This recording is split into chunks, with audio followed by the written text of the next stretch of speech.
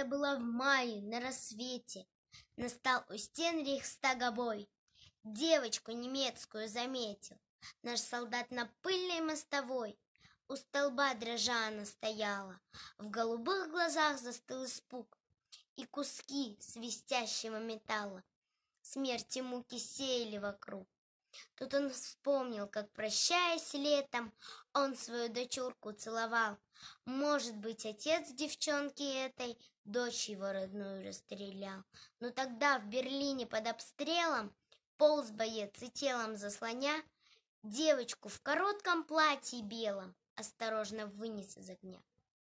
И, погладив ласковой ладонью, он ее на землю отпустил. Говорят, что утром маршал Конев Сталину об этом доложил. Скольким детям возвратили детство, подарили радость и весну.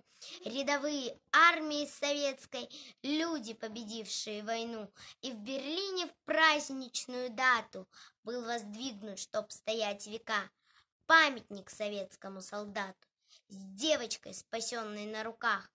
Он стоит как символ нашей славы, как маяк, светящийся во мгле. Это он, солдат моей державы, охраняет мир на всей земле.